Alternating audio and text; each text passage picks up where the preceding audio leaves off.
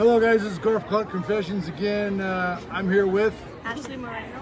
Ashley. Ashley, can you tell me uh, who your favorite teacher is or who your favorite uh, classified employee is? My favorite teacher is Mr. Valdez. And why, why would you say that?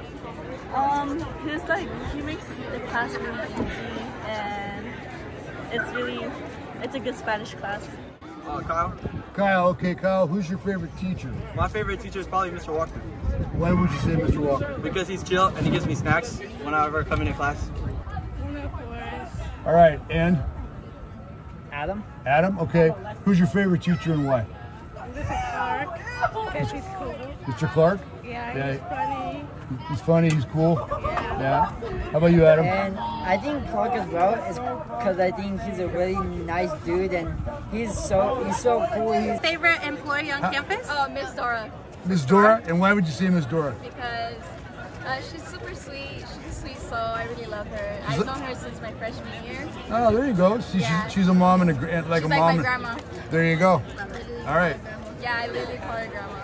All right. Very good. Thank you, ladies. Jacob Webster. Jacob Webster, who's your favorite teacher? Tell me why. All time or at Oak? You could be all time or at Oak, either one. Uh, I'll go at Oak. We go with Mr. Gunnison. Uh, he helps me out a lot, on field, off the field. Uh, any, any type of problems I need, I go to him.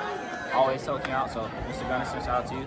I'm here with Ethan. Ethan. Who's your favorite teacher and why?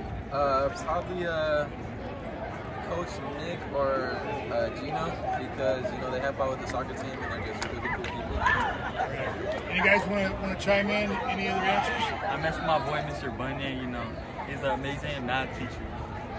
All right. Anybody else? I'd say Mr. Smith. He's underrated. He's underrated.